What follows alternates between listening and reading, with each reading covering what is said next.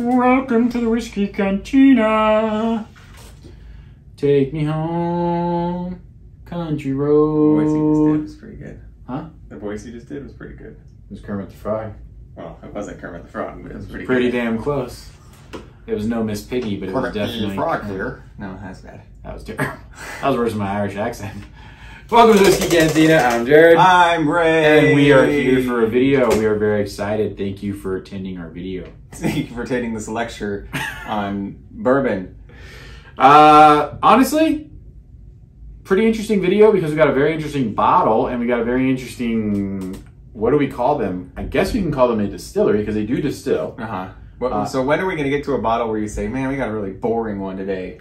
They They're can't always all interesting. be interesting. Well, why not? Even shitty ones are interesting. That's why we. Well, do here, this, I find that. Where's that? Uh, where's New- that New York? outlaw stuff? Oh, the Gambler 500. You ever heard of that? We got a pretty shitty video here for you today. Got okay, this isn't though. This is actually so. Um, I want to call this. I mean, well, John J. Bowman. So, what is it? A. Bowman Distillery Yes. is the name of the distillery.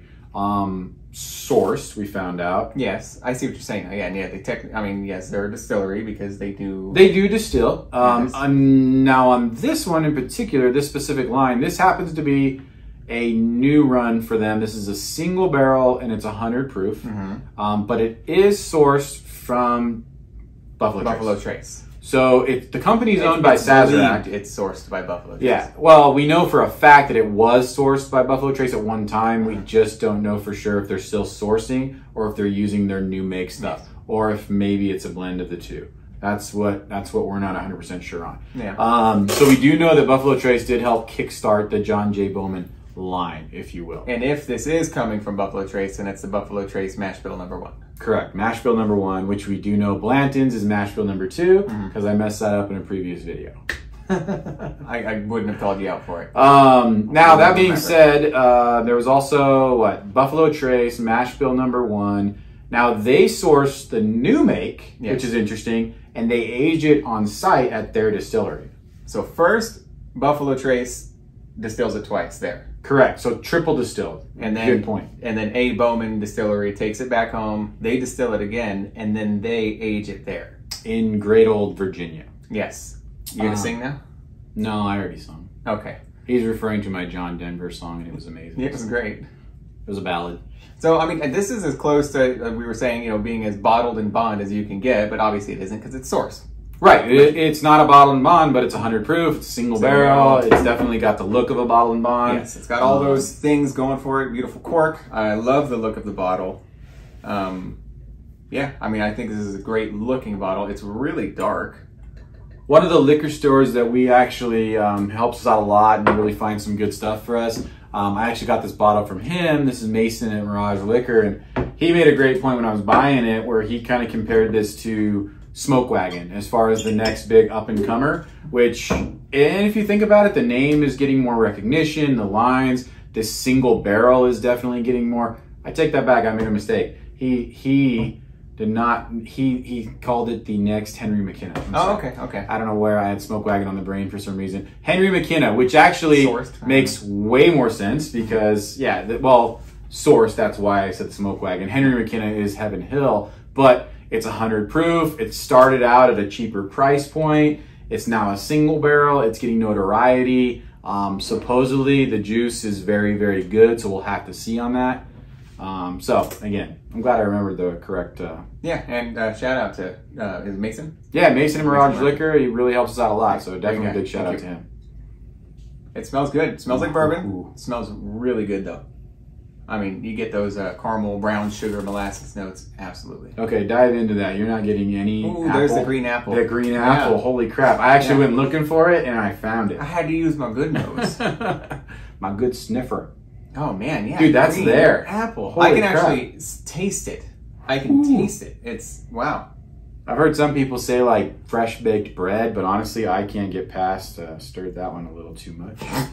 That's never happened. I- Stop looking for a napkin. We don't have one. Uh,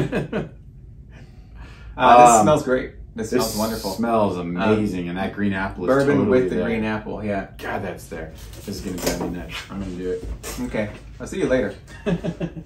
Um, I mean, yeah, I'm picking up on those those quintessential bourbon notes. I'm getting some brown sugar and getting some vanilla. Vanilla, but even as I keep smelling it, the apple creeps up more and more I and more. see what they're saying about like baked bread. Like you get a little bit of that, almost like that soft like warmth from it. But honestly, I can't get past that green Oh. apple. Yeah, I see what you're saying, like really can't.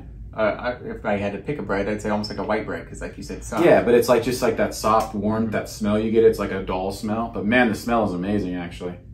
janky, janky. Yeah.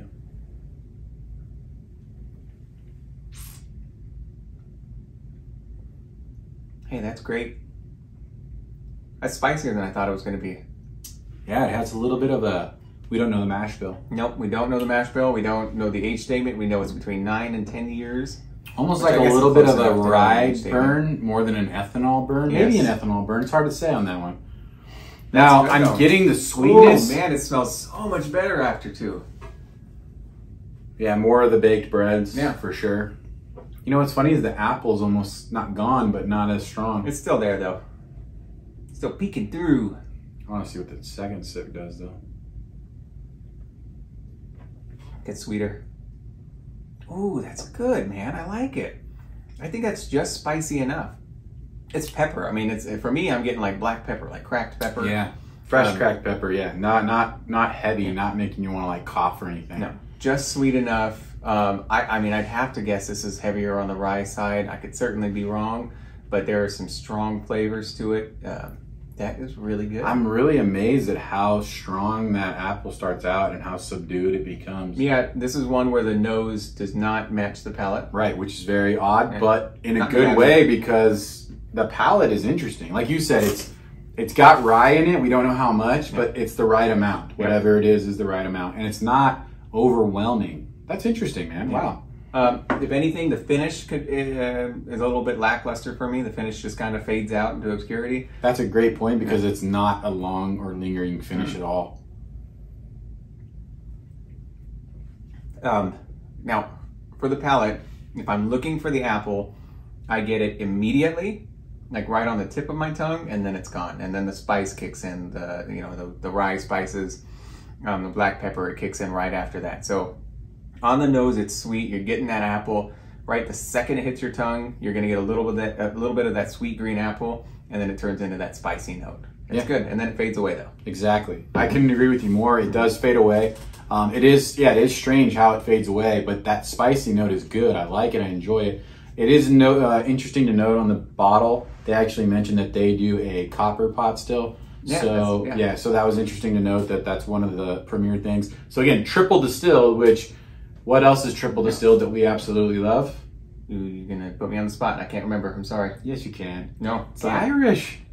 The uh, Triple Great- distilled. That's the whole thing. Remember, the Irish is triple distilled as opposed to the Scotch. Okay, You know. and it's copper too, isn't it? It is copper, yeah, but those are pot stills, whereas this is probably a column still. They don't denote it, so I highly doubt they're using a, a pot still. So He likes to put me on the spot. Now, copper still generally leads to an oilier um, whiskey, doesn't it? yeah, which This I'm not getting much of. it's I- not I lingering, it but it's sticking on the glass a little bit. Yeah, Yeah. but I get what you're saying. The, the finish, you're Yeah. you're dead on. I'm not getting that long burning finish. This is pretty good, man. Mhm. This is really good, actually. Um, I can see I would what never say no to this. I can see what Mason was talking about, though, and I'm glad I remembered it was the Henry McKenna he compared it to, which obviously the Henry McKenna bottled and bond, uh, single barrel, 100 proof, uh, which we love. We've that thing's won like yeah, we have every gone back to that quite a few times. every blind we've done. It's actually won. So, um, but this is very good, and that would be interesting too. Is we've got a lot more single barrels now, and I think.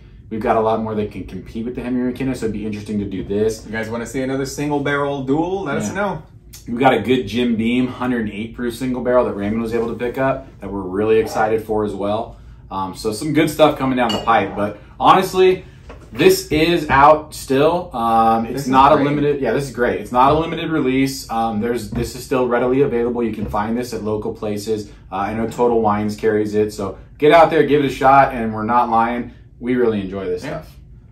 Cheers, people. Uh, while you're here, please take a moment to like, comment, subscribe. Let us know what you'd like to see next. Uh, let us know what you think of Jared's facial hair. It's amazing. And drink safe, drink responsibly. Cheers. See ya. The hell's that? That was funny. I don't get it. It's funny. I don't get it. I just, it just came to my head. you know that was funny. Fuck you.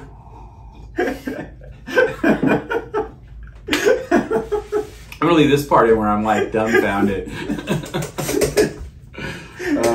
that shit's good though, huh? This I is really, great. really It wanted you to try me of this. something. Henry McKinnon.